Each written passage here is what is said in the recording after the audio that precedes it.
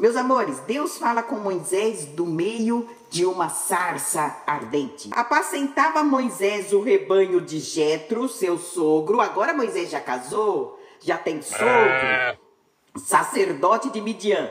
E levando o rebanho para o lado ocidental do deserto, chegou ao monte de Deus, a Horebe. Ó, vou marcar aqui, ó. Vou marcar monte de Deus e vou marcar o nome do monte de Deus, Horebe.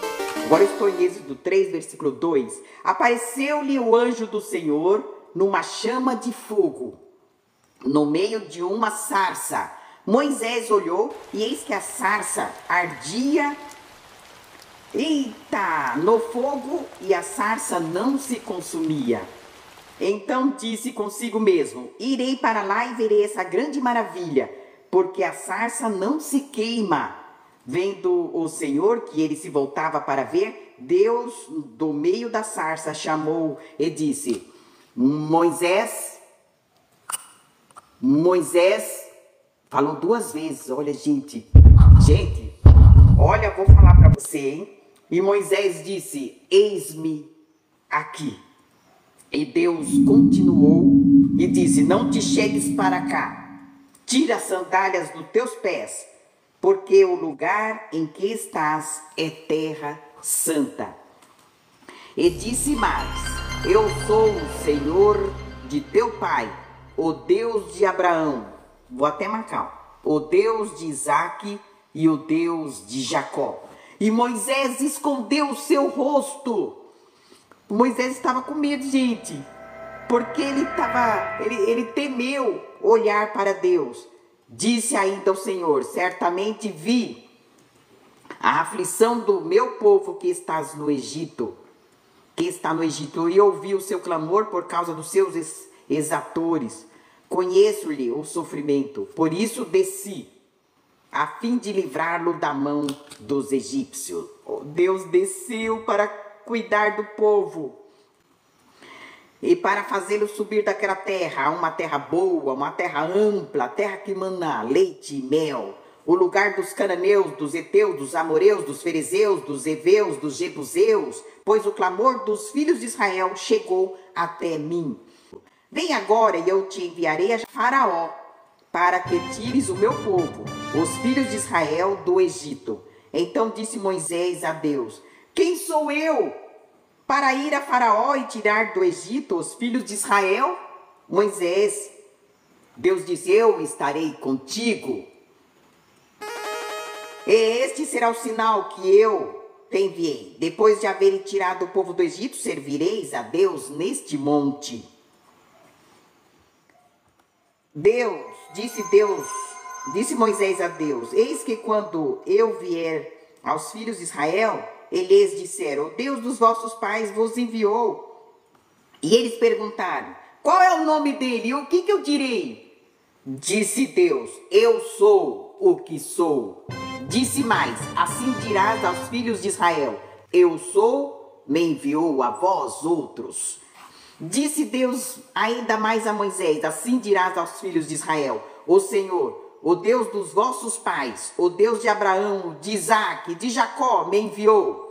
A vós, este é o meu nome eternamente, e assim serei lembrado de geração em geração. Vai, ajunta os anciões de Israel e diz-lhe: O Senhor, o Deus de vosso pai, o Deus de Abraão, o Deus de Isaac, o Deus de Jacó me apareceu dizendo: Em verdade vos tenho visitado, e visto que vos tem sido feito no Egito. Portanto, disse: Faze, fazer, faz, não, far-vos-ei subir da aflição do Egito para a terra dos cananeus, dos heteus, dos amoreus, fariseus, heveus, jebuseus, para uma terra que mana leite e mel. E ouvirão a tua voz e irás com os anciões de Israel, ao rei do Egito, e lhes dirás: O Senhor, o Deus dos Hebreus me encontrou. Agora, pois, deixai-vos ir caminho de três dias. Olha, gente, era para viajar três dias. Depois nós vamos ver quantos, quantos tempos eles viajaram para o deserto, a fim de que sacrifiquemos o Senhor ao Senhor nosso Deus. Eu sei, porém, que o rei do Egito não vos deixará ir, se não for obrigada, obrigado por mão forte Portanto, estenderei a mão e ferirei o Egito com todos os meus prodígios que farei no meio deles. Depois deixarás ir. Ó, oh, Deus já sabia muito bem que o faraó não ia deixar. E, e ele sabia exatamente o que ele ia fazer. É muito poder. Deus enxerga adiante. Deus sabe o fim desde o início. E nós não sabemos nem sequer o que vai acontecer daqui a cinco minutos na nossa vida. Então Deus sabe. Então por isso que é bom, gente, nós sempre estamos pedindo é, proteção, orientação de Deus, porque Ele sabe. E às vezes, através da nossa oração, através do nosso pedido de socorro, de misericórdia, Ele nos livra de muitas situações difíceis e situações adversas que ia acontecer e Deus falou para o anjo: vai lá, vai lá e cuida. E o anjo foi lá e cuidou, gente. Nós vamos ter tanta surpresa no céu. Tanta, gente, tanta. Você vai ter uma eternidade para você conversar e ver quantos livramentos Deus fez na sua vida. Que beleza! Eu darei mercê a este povo aos olhos dos egípcios, e quando sairdes, não será de mãos vazias. E ó, Deus está até sabendo, ó, cada mulher pedirá a sua vizinha e a sua hóspeda joias de prata, e joias de ouro, e vestimentas, as quais porei sobre vossos filhos e sobre vossas filhas, e despojareis os egípcios. Deus até sabia que eles não iam sair de lá de mãos vazias. Ele sabia já tudo, ó. Antes, no, no, no capítulo 3, ele já sabia tudo. Oh, mas Deus é maravilhoso. Vocês vão sair com ouro, vocês vão sair com prata, vocês vão sair com joias do Egito com as mãos cheias, vocês vão despojar os egípcios. Oh, que bem.